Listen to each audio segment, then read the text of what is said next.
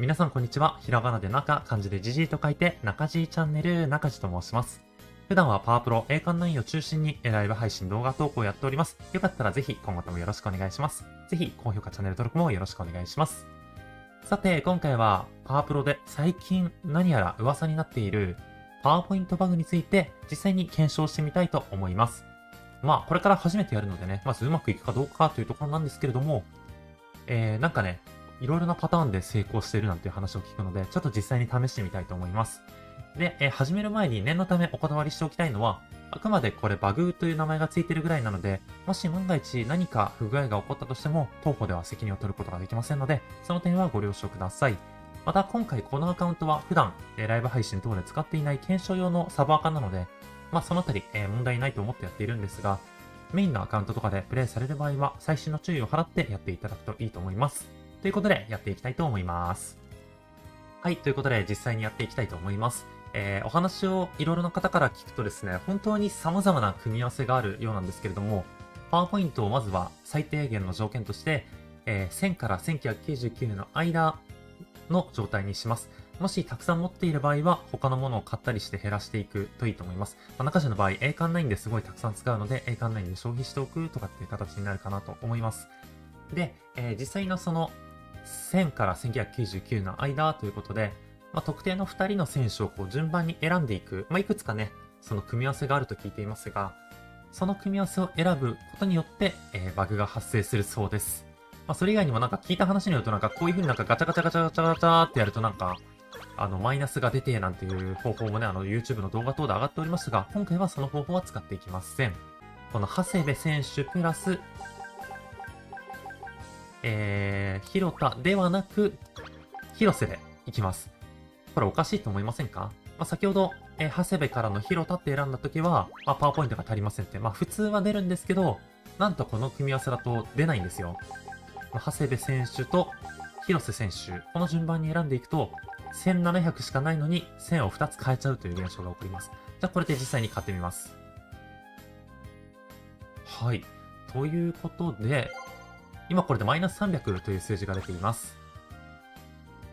さあ、では、一旦これで、えー、メインの画面に戻ります。そしてここでパワーポイントショップをもう一度選んでいきます。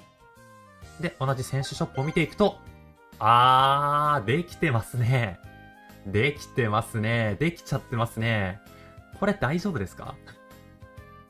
って感じで、えー、簡単に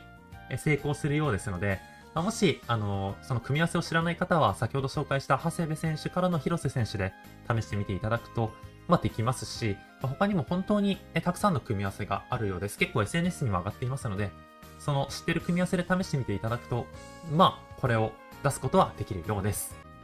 はい、ということで、今回は実際にパワーポイントバグができるかどうか検証してみました。いかがでしたでしょうか、まあ、結論から言うと簡単にできてしまいました。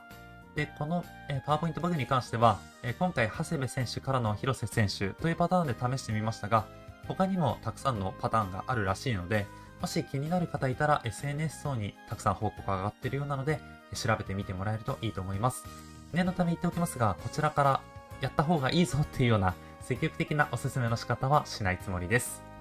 また、えー、一つ補足をしておくと、長谷部選手と、あとは広瀬選手が入手済みの場合は、このパターンを使うことはできないので、その場合は、さっきお話ししたような他のパターン、他の組み合わせで、ま、やってみていただくことになるのかなと思いますので、これもまあ補足としてお伝えしておきます。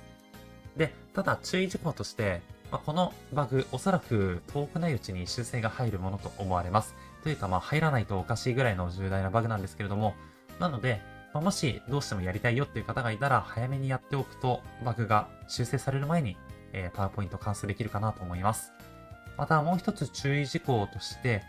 こういったバグに関しては、やっぱりどうしても不具合とか、まあ、動作がおかしくなるとか、そういった何かね、問題ということも、まあ、どうしても付きまとうものだと思います。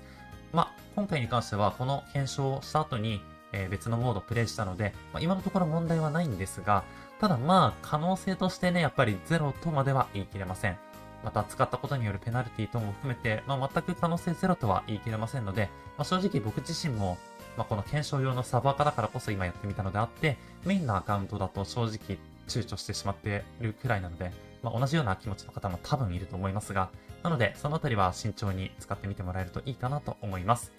なので、もしそれでも気になる方がいたら、試してみてはいかがでしょうか。ということで、今回の動画はこれで以上なんですけれども、今後もこの中地チャンネルでは、えー、パープロ栄冠のモードのライブ配信を中心に、えー、時々動画投稿、小ネタ動画だとか、えー、検証動画含めて様々な、えー、投稿をやっていきますので、よかったら今後ともこの中地チャンネルよろしくお願いします。もし参考になったと思ったら、高評価、チャンネル登録よろしくお願いします。ということで、今回の動画はこれでおしまいになります。